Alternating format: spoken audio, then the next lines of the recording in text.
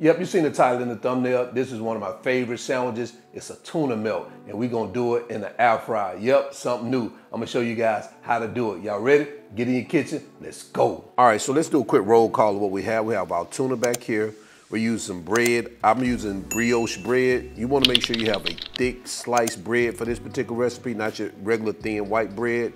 We have some sliced onions right here, provolone cheese and cheddar cheese, tomatoes, some chopped celery, some more chopped onions, some Dijon mustard, some freshly chopped parsley. We have some seasoned salt and black pepper in this dish, chopped dill pickles, mayo, lemon juice, and some softened butter.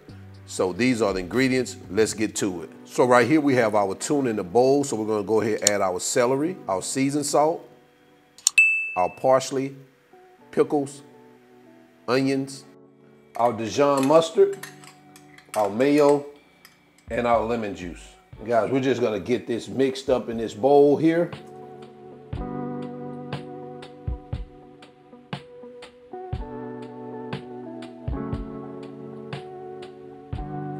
All right, that's what we have. Let's continue. All right, so next we're gonna take our bread and we're gonna take some butter. Make sure you have your butter, your butter is softened and we're just going to spread it across our bread exactly like this. Just like that. And we're gonna do each slice like that. Now some people use mayo in this particular step instead of butter. I like butter better, especially when it comes to my bread.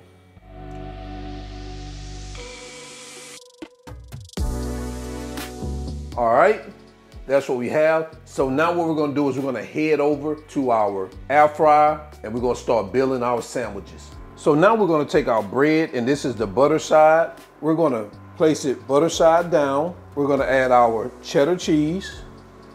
And you don't wanna hang it off over the edges too much, but you wanna make sure you cover the whole uh, piece of bread. So what I did was I did like one and a half slices. We're gonna take our tuna add it here and you want to spread this out as much as you can all the way to the, the edges of your bread. Just like that. Now we're gonna come behind that with our provolone cheese or whatever cheese you, you desire. I'm using cheddar and provolone. Top that off with our onions. Now all this is optional. If you don't wanna add onions, you don't have to add the onions, but I love onions and I'm adding them. Also along with your tomatoes. Again, this is optional also.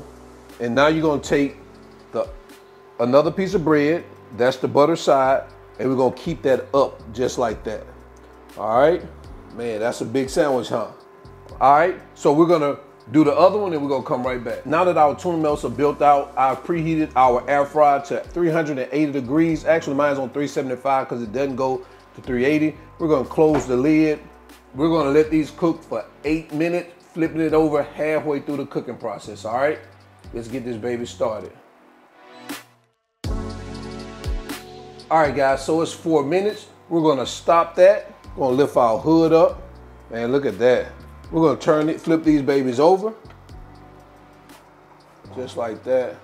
The bottom part is soft, so you wanna make sure you kinda be careful with that. All right. So we're gonna put this lid back down. Got four more minutes. We're gonna come right back. All right, guys, it's saying get food. That's what I like about this chef favorite air fryer. Take a look at what we have right there. Crisp on top. All right, let's get these over to the cutting board so we can get into our final presentation.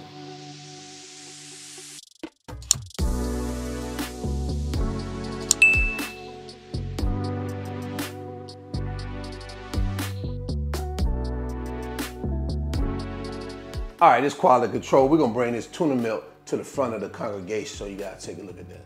Oh man, look at that. Oh, let's go ahead and take a bite of this baby. Mmm. Oh man. Mmm. Man, I'm gonna leave all that stuff around my mouth too, cause I don't even care, man. Mmm, mmm, mmm. We got one. Air fried tuna melt. So, you already know what this is.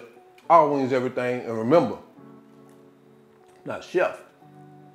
Sometimes I think I am though. But I just cook a lot and I'm out. Peace. Mm, mm, mm.